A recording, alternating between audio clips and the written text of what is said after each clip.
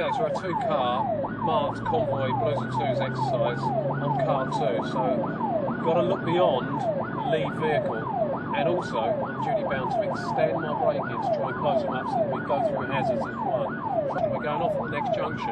Mirrors, my gap initially is behind Silver. I'm just going to come off the noise momentarily so I don't invoke a reaction from Silver. Happy with my gap, continue into the slip lane and now mirrors and brakes and back on the noise again. Mirrors, trying to offset here, near side mirror position, let the vehicles away, know that there's two. We've got option three, offside mirror position now out towards the offside lane. Gently through, just walking it down, checking right, checking left, check for any fast moving solos that are coming through. No movement there, mirrors picking up on the drive. Still need to clear it for myself now. Offside mirror position, we've got brake lights off the curved path mirrors, conscious now we could get a turn off situation. Mirrors, so listening for the lead car, thinking he might turn nose off, we're going for the bus lane. Here's our mirror position, conscious that we haven't got exemptions in certain bus lanes. So as we come through, turning the noise off now because the lead car's turned his noise off. There's nowhere for these vehicles to go. Again, notice from his positioning that he's way off the back of the first taxi.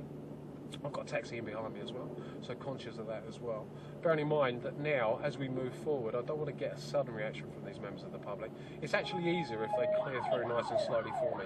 He's back on his noise. I'm going to go back short on the turn, offside mirror position, gently out towards lane two. Good reaction from the taxi and the BMW. Pedestrian movement, now we're towards central London, so I'm thinking about those tourists, offside mirror position, who might not be used to dealing with emergency vehicles, especially outside of the road.